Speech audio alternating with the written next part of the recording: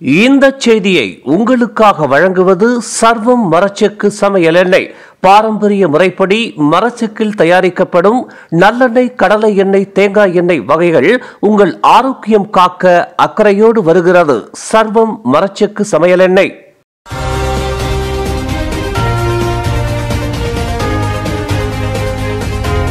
வணக்கம். திசைகளின் ஐந்து மணி செய்திகள். ஸ்லாங்கூர் இந்திய வர்த்தக சமூகத்திற்கு தீபாவளி சிறப்பு கடனுதவி திட்டம். அடுத்த மாதம் கொண்டாடப்படவிருக்கும் தீபாவளி திருநாளை முன்னிட்டு ஸ்லாங்கூர் மாநில இந்திய வர்த்தக சமூகத்திற்கு ஹாசை பெர்முசிம் எனும் விழாக்கால சிறப்பு கடனுதவி திட்டத்தை ஸ்லாங்கூர் மாநில அரசாங்கம் அறிமுகப்படுத்தியுள்ளது. வீடு உட்பட இதர இடங்களில் தீபாவளி வர்த்தக சந்தையில் ஈடுபடும் ஸ்லாங்கூர் மாநிலத்தில் உள்ள இந்திய வர்த்தகர்கள் மற்றும் சிறு வியாபாரிகளுக்கு பிரத்யேகமாக ஸ்லாங்கூர் மாநில அரசாங்கம் முதல் முறையாக இந்த கடனுதவி திட்டத்தை அறிமுகப்படுத்தி உள்ளதாக ஆட்சிக்குழு உறுப்பினர் ரோஜியா இஸ்மாயில் தெரிவித்தார். தீபாவளி சந்தையில் ஈடுபடும் இந்திய வணிகர்கள் முதலீட்டிற்கான பணம் குறைவாக இருக்கும் பட்சத்தில் இந்த சிறப்பு கடனுதவி திட்டத்தின் கீழ் ஆயிரம் வெள்ளி முதல் இருபதாயிரம் வெள்ளி வரையில் கடன் பெறுவதற்கு விண்ணப்பிக்க முடியும். இதற்கான விண்ணப்பங்கள் இன்று திங்கட்கிழமை முதல் வரும் அக்டோபர் மாதம் பதினான்காம் தேதி வரையில் சமர்ப்பிக்க முடியும் என்று ரோஜியா குறிப்பிட்டுள்ளார். பள்ளி கட்டடங்களின் கட்டுமான அமைப்பு முறை மறு ஆய்வு செய்யப்படுவது அவசியமாகும் என்று கல்வி அமைச்சர் டத்துஸ்ரீ டாக்டர் ராஜி ஜீடின் தெரிவித்துள்ளார். மாணவர்களின் பாதுகாப்பை உறுதி செய்வதற்கு பள்ளி கட்டடத்தின் ஒவ்வொரு அறையின் அமைப்பு முறை அவற்றின் பாதுகாப்பு அம்சம் அவற்றின் தாங்கும் சக்தி முதலிய அம்சங்கள் ஆராயப்பட வேண்டி உள்ளதாக அவர் குறிப்பிட்டுள்ளார்.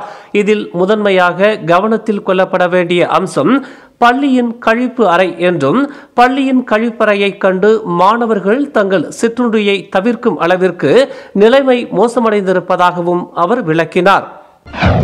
சிறை தண்டனை அனுபவித்து வரும் முன்னாள் பிரதமர் நஜீப் துன் ரசாக்கின் உடல்நிலை மோசமடைந்திருப்பதாக கூறப்பட்டதை தொடர்ந்து அவர் காஜாங் மருத்துவமனைக்கு கொண்டு செல்லப்படவிருக்கிறார்.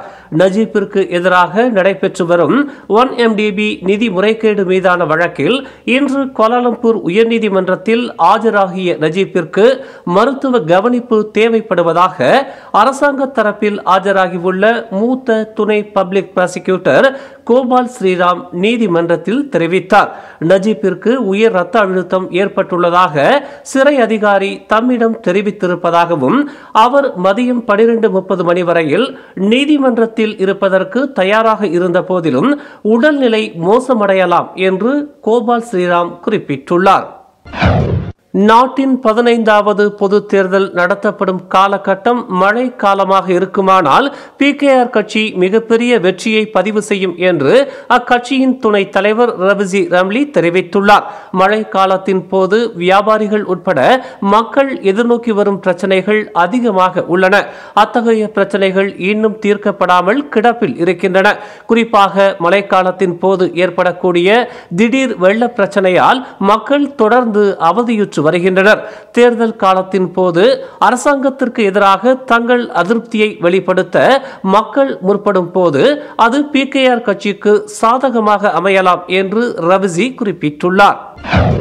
மெர்டேகா கிண்ணம் ஈராயிரத்தி இருபத்தி இரண்டு ஃபுட்சால் போட்டிக்கான வெற்றியாளர்களை ராகா அறிவித்துள்ளது.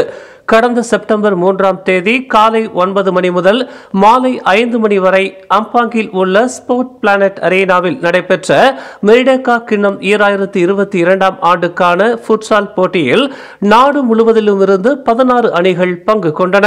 அவற்றின் அதிரடி ஆட்டங்களை தொடர்ந்து மூன்று அணிகள் வெற்றியாளர்களாக அறிவிக்கப்பட்டதன் மூலம் போட்டி மிகவும் சிறப்பாக நிறைவுற்றது. முதல் நிலையில் கனான் எஃப்சி அணி வாகை சூடியது. இரண்டாம் நிலையில் விவென்டியம் எஃப்சி அணி வெற்றி பெற்றது. மூன்றாம் நிலையில் லியோ எஃப்சி வென்றது.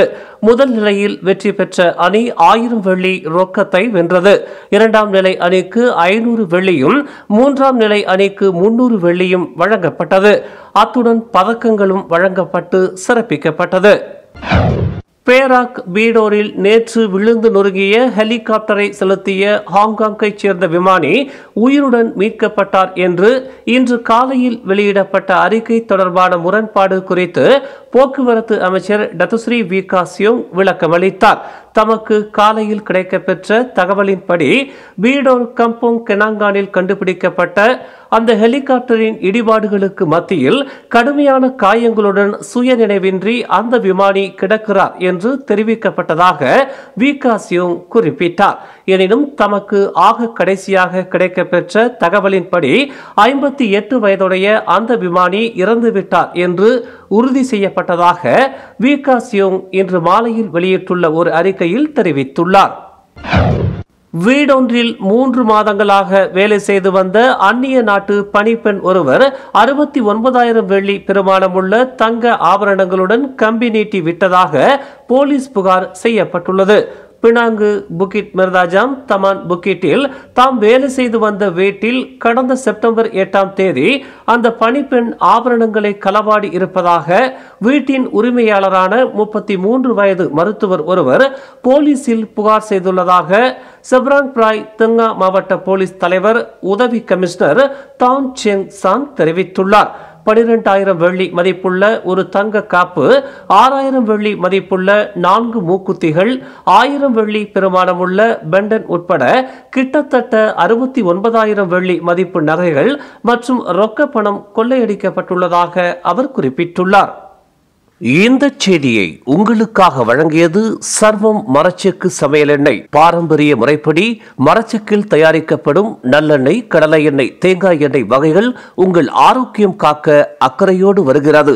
சர்வம் மரச்செக்கு சமையல் எண்ணெய். மேலும் செய்திகளை தெரிந்து கொள்ள கீழே இருக்கும் பெல் பட்டனை அழுத்துங்கள். உங்கள் மகிழ்ச்சியை வெளிப்படுத்த லைக் மற்றும் ஷேர் செய்யுங்கள்.